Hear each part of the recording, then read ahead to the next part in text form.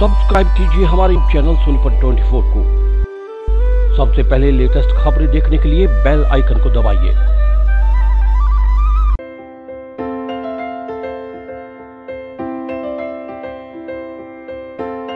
नमस्कार, मैं निखिल मदान। सभी सोनीपत वासियों को, हरियाणा प्रदेश वासियों को, दिवाली की बहुत सारी हार्दिक शुभकामनाएँ देता हूँ और इस बार हमें दो दिवाली मनाने का मौका मिल रहा है। एक तो बड़ौदा की जीत का और एक दिवाली की भी आपको बहुत बहुत हार्दिक शुभकामनाएँ देता हूँ और मैं आप सबसे अपील भी करता हूँ कि इस बार दिए जलाएँ, पटाखे बिल्कुल ना जलाएँ। जिस तरीके आप पोल्यूशन को देख रहे हैं पोल्यूशन का ध्यान रखते हुए सिर्फ़ आप दीप जलाकर दिवाली मनाएँ। जय हिंद, जय भारत।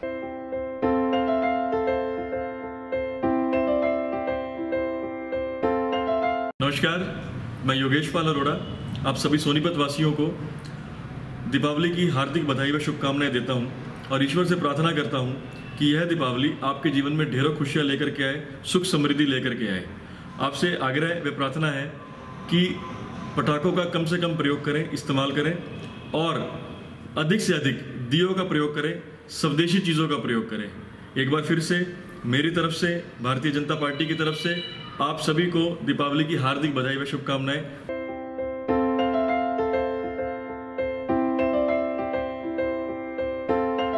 मैं अनिल गुप्ता, आप सभी को नमस्कार।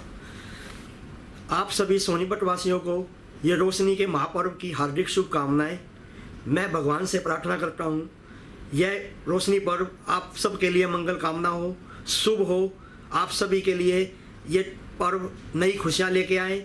आप सभी के उज्जवल भविष्य के लिए मैं आपको दोबारा से नव दीपावली के पर्व की हार्दिक शुभकामनाएँ देता हूँ। जय हिंद, जय भारत।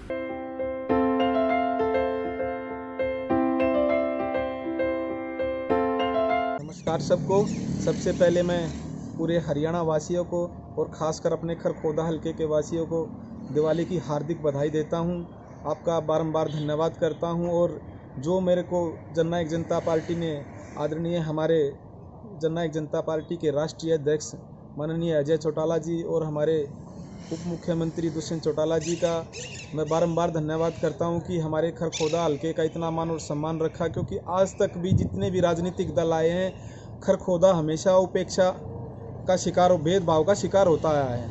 तो पहली बार हमारे खर खोदा हल्के की किसी ने सुध ली है और मैं नेतृत्व का बारंबार धन्यवाद करना चाहता हूँ और समस्त अपने खर खोदा हल्का वासियों को फिर बारंबार दिवाली की धन्य, धन्यवाद देता हूँ और पूरे हरियाणा वासियों को मैं दिवाली की हार्दिक बधाई देता हूँ।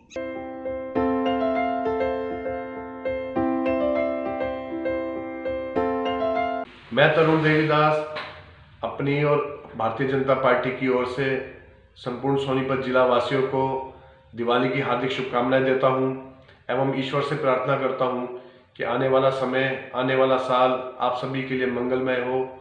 आपका बहुत बहुत धन्यवाद। समाज सेवी निखिल मदान ने शहरवासियों से आह्वान किया है कि वो प्लास्टिक उपयोग को बंद करते हुए कपड़े अथवा जूट के थैलों का इस्तेमाल करके पर्यावरण के प्रति अपना दायित्व निभाते हुए पर्यावरण संरक्षण में अपना योगदान दे सकेंगे। ये बातें निखिल मदान ने पायल ब्यूटी अकेडमी द्वारा करवाए गए दिवाली उत्सव के कार्यक्रम में बतौर मुख्य अतिथि पहुँचने पर कहीं।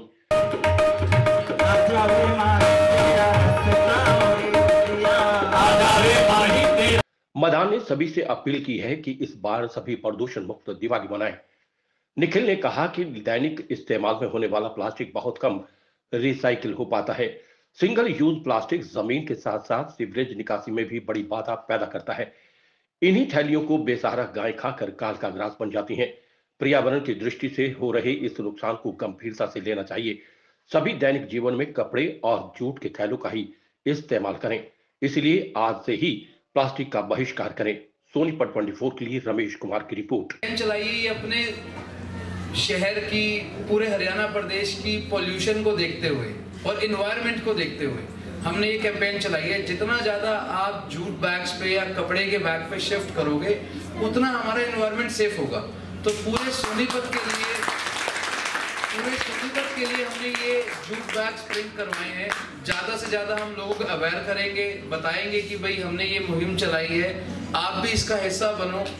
और आपको कहीं लगता है कि भी कोई इवेंट कोई भी एनजीओ कोई भी ट्रस्ट ऐसा इवेंट कर रही है जहाँ पर हमें ये अपने जूट बैग्स को लेकर आना है तो हम आपके उस जगह पर भी आएँगे। क्योंकि जितना ज़्यादा आप लोग इनको यूज़ करोगे, क्योंकि ये आप इसको बार बार यूज़ कर सकते हो।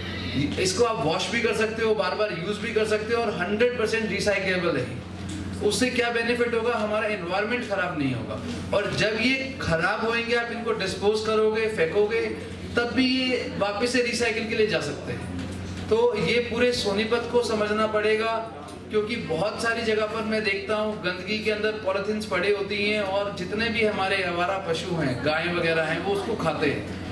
उसको खाने के बाद फिर उनके लिए ही वो प्रॉब्लम होती है। तो इन सब चीज़ों को भी देखना है हमारे को और इन्वायरमेंट को भी देखना है। जितना ज़्यादा हम एज अ यूथ मैं यूथ हूँ, मैं एज अ यूथ सोचता हूँ कि भी अपने शहर के लिए जो चीज़ अच्छी कर सकता हूँ, ज़्यादा से ज़्यादा करने की कोशिश करूँगा।